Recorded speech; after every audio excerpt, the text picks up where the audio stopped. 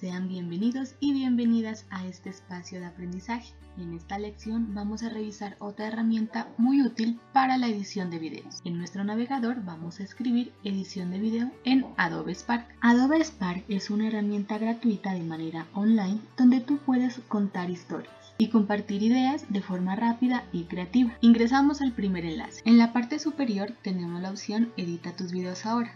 Vamos a dar clic. A continuación nos solicita que iniciemos sesión o creemos una cuenta ya sea con Google, con Facebook, con Apple o con otro correo electrónico. Si tenemos nuestro correo de Gmail, vamos a dar clic en la primera opción. De lo contrario, seleccionamos Regístrate con el correo. Seleccionamos nuestra cuenta. En esta parte vamos a escribir el título de nuestro video. Damos clic en Siguiente. Vamos a tener diversas plantillas a trabajar. En este caso vamos a dar clic en comenzar desde cero. Adobe Spark nos va a proporcionar unos tutoriales del uso de la plataforma. Vamos a dar clic en la X que aparece en la parte superior derecha. Tenemos este entorno de trabajo. En la parte inferior vamos a encontrar las páginas donde vamos a poder ir agregando videos, texto, fotos e iconos. Iniciamos con nuestra primera página. Vamos a agregar un video. En este espacio puedo seleccionar la sección. En esta parte podemos seleccionar hasta máximo 30 segundos. Una vez seleccionada la sección, vamos a dar clic en guardar en la parte superior derecha. En nuestro panel derecho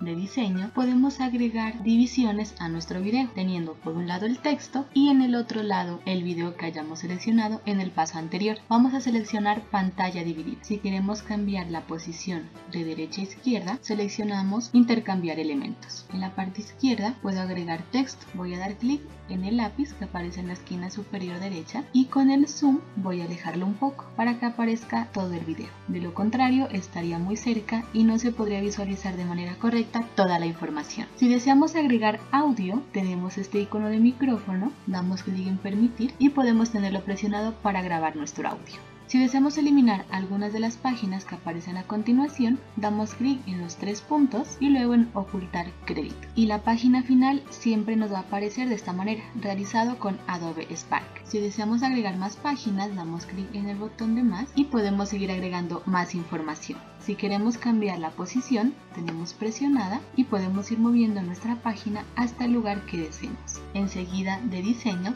tenemos tema y podemos encontrar estos elementos para nuestro video. En música también podemos agregar pistas a nuestro video. Una vez hayamos finalizado con la edición del recurso, en la parte superior central vamos a dar clic en descargar. Lo guardamos en nuestro explorador de archivos o también puede aparecer en nuestra carpeta de descargas. Eso ha sido todo por esta temática. Te invitamos a estar activo y activa en todas nuestras lecciones.